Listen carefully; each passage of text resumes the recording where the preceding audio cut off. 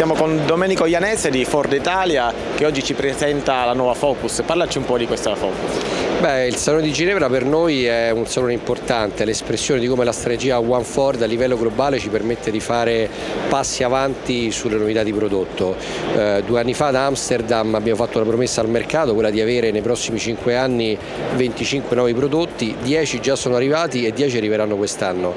La Focus ne è un'espressione, la Focus è una macchina globale, mondiale, nasce nel 98, eh, più di 12 milioni di vetture vendute nel mondo, 7 milioni in Europa, in Italia più di 450 mila è la numero uno al mondo nel 2013 come nameplate, nonostante questo non ci fermiamo e continuiamo a fare un passo avanti nello stile e nella tecnologia.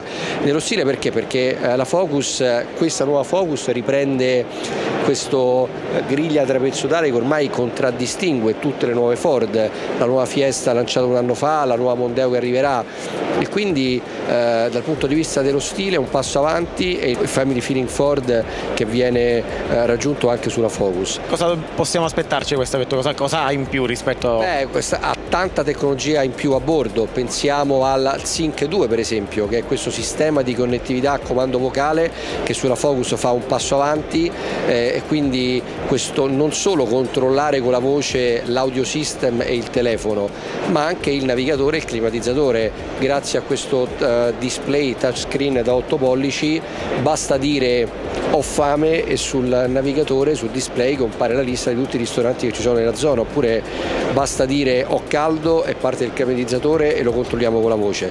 Pensiamo ai motori, il 1000 EcoBoost, questo motore pluripremato di Ford che sulla Focus raggiunge un altro benchmark, quello di essere l'unica family car benzina non ibrida a raggiungere la soglia dei sotto 100 grammi di CO2 oppure pensiamo al eh, sistema di parcheggio semiautomatico che Ford ha su altre vetture ma sulla Focus si aggiunge il sistema di parcheggio non solo quello tradizionale laterale ma anche quello perpendicolare a spina di pesce addirittura ci sono i sensori dietro che ti avvertano nel caso in cui arriva una vettura la tipica situazione di parcheggio quando esci dal certo. parcheggio e, oppure il sistema di l'active stop di frenata di emergenza che prima aveva una soglia di tolleranza fino a 30 km/h sulla Focus arriva a 50 km/h.